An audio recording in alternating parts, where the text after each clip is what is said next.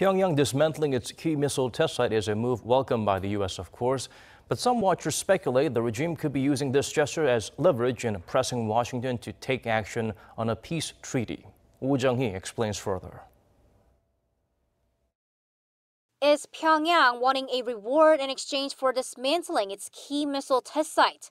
U.S. based North Korea monitoring website 38 North reported on Monday that Pyongyang started to dismantle key facilities at its western Sohae satellite launching station. President Trump welcomed the move, and Secretary of State Mike Pompeo said North Korea is keeping the promise made at the Singapore summit last month. But amid the positive assessment, there is speculation that North Korea could be making such a move in order to get something in return, a declaration of a formal end to the Korean War. For the past few days, reports coming out of North Korea have been saying that an official end has to be declared to the Korean War. On Wednesday, the North's state-run newspaper Sinmun claimed making such declaration is a historic task that can't be delayed any further. And the day before, the state-run Korean Central News Agency stressed peace will begin only when the two Koreas declare an end to the Korean War, and that it's regrettable the matter has not been resolved yet. The North's media have also pressed South Korea to be more involved. Pyongyang wants the war to end as it gives the regime a security guarantee. But Washington wants to be more prudent.